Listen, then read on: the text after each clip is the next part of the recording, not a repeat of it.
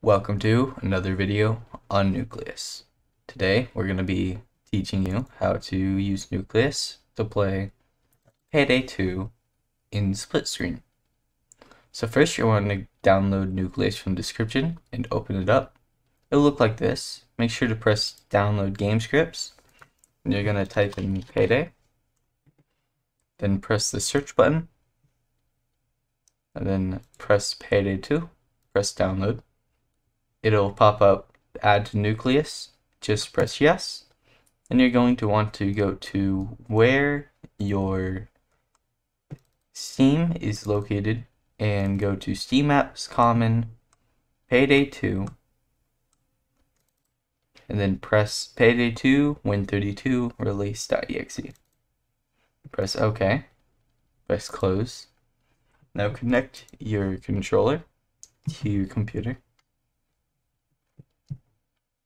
now it should show your controller and your keyboard. So you're gonna go and you're gonna want to drag your keyboard player to whatever screen you want to put it on. Same thing with your controller. You're gonna want to press the next arrow up here and press play. If this pops up, it will only pop up once on your first time, so just press allow access. Payday 2 will start opening. Uh, I do not recommend pressing anything and just let it do its thing. Okay, now that it's opened, you can press any key on your mouse to, to get into the game on your keyboard. There we go. Same thing on your controller. Now, on player whatever you want to host or whoever you want to be host, Press play online.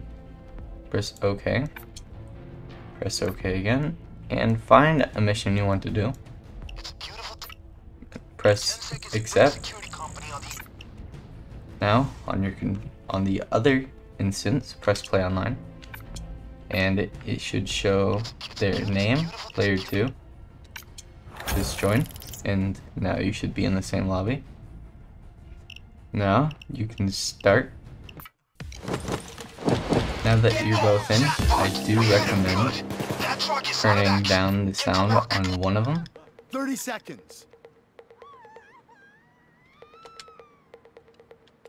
Now, as you can see, you're in the same lobby together.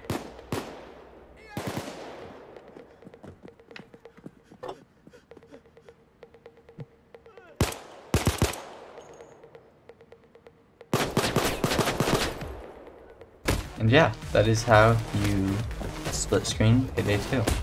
Uh, you cannot play online. You can only play with each other, and you cannot use your current save file.